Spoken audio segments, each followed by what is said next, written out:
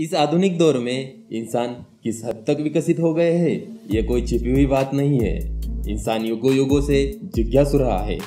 इंसानों ने अपनी जिज्ञासा से दूसरी दुनिया पर, यानी दूसरे ग्रहों पर भी अपनी पकड़ जमाई रखी है।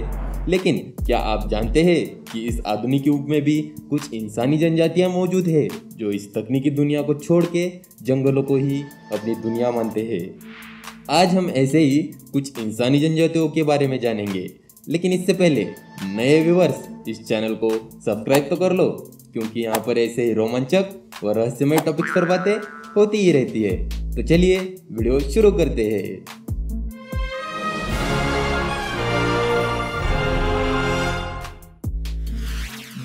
ट्राइब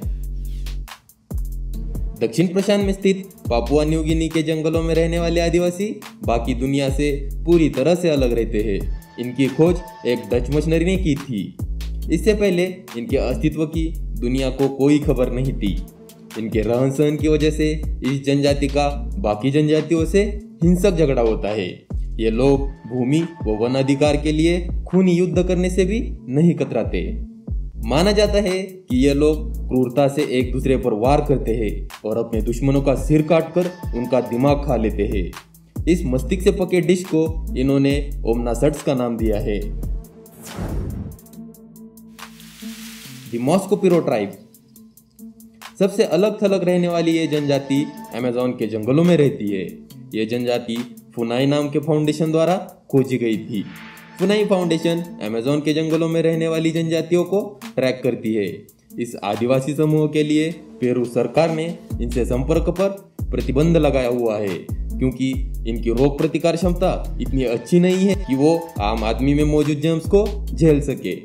वैसे तो मॉस्कोपिरो कबीला आसानी से बाहरी लोगों पर हमला नहीं करता, लेकिन आम लोगों की हत्या के इन पर कई आरोप लगे हैं।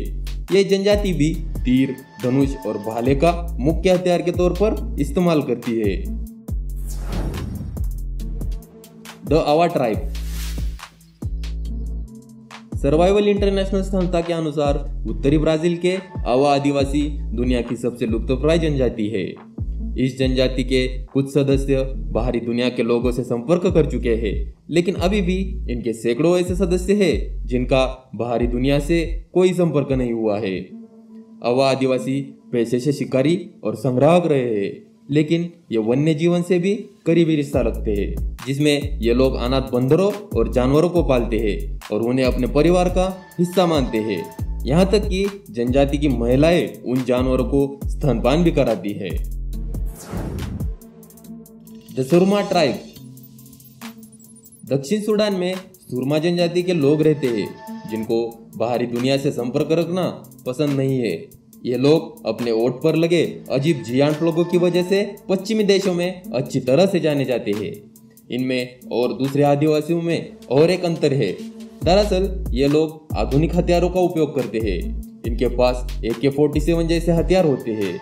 इस जनजाति का मुख्य काम जानवरों को चराना है। इनमें जिसके ज़्यादा जानवर है, वो अमीर कहलाता है। इनका मानना है कि ज़िंदा जानवरों का खून पीने से इनकी ताकत बढ़ती है। लिहाजा ये लोग महीने में एक बार जानवरों का खून पीते हैं। द सेंटिनल ट्राइब भारत के अधिकार क्षेत्र में नॉर्थ सेंटिनल आइलैंड पर आज भी एक साठ हज़ार साल पुराना कबीला रहता है, जिसका बाहरी दुनिया से जरा सा भी संपर्क नहीं है। इस कबीले के लोग उनके क्षेत्र में दाखिल होने वाले लोगों को बेरहमी से मार देते हैं। सेंटिनल आइलैंड सरकार द्वारा प्रतिबंधित है। यहाँ पर आम इंसानों के जाने के लिए बैन लगा हुआ है। इन आदिवासियों को प्राकृतिक आपदाओं से निपटने का बेहतरीन अनुभव है।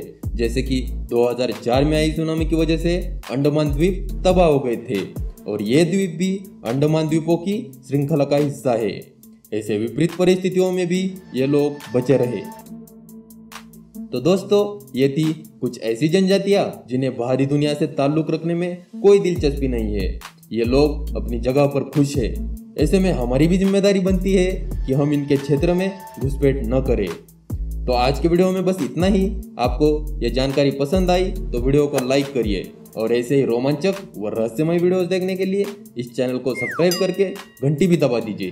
तो दोस्तों, मिलते हैं अगले वीडियो में। तब तक के लिए बाय बाय